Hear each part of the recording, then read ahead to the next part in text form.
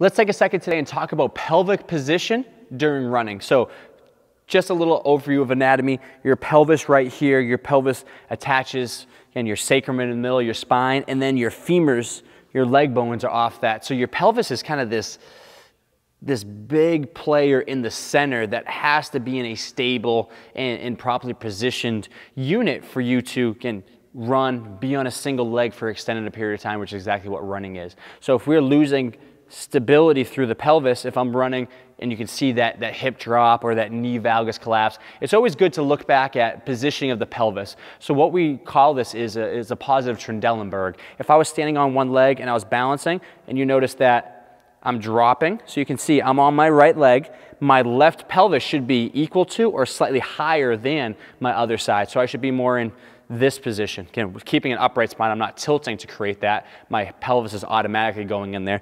That's where we're maintaining good stability throughout this hip, throughout this core to be in that position to then be efficient as a runner on a single leg.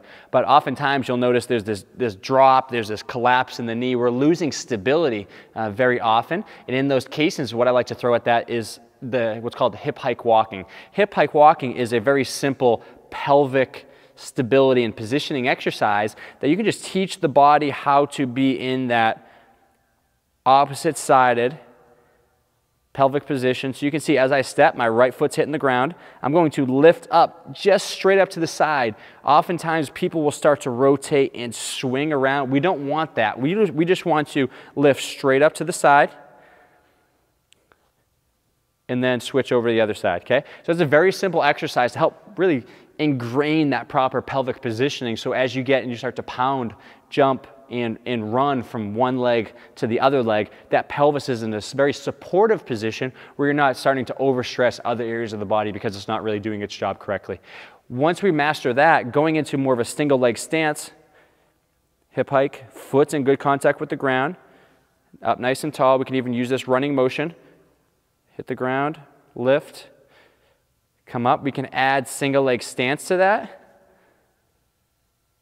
And we can hold that for a little bit longer. Again, we don't want to fully, we don't want to really exaggerate that motion. We're not driving the entire hip up to the, to the side. We're just lifting that pelvis just enough to be equal to or higher than the opposite side. It's very subtle, very simple in theory, but actually kind of challenging to do. So that's a little bit a, deeper look, deeper understanding into pelvic position during running on single leg stance can make sure that pelvis on the other side is not dropping. Start to retrain with a very simple exercise like the hip hike walking, go into single leg stance, and I think that'll be a very uh, good exercise, even if it's only a warm up before you're running. I think you see a lot of benefit with that. Thank you.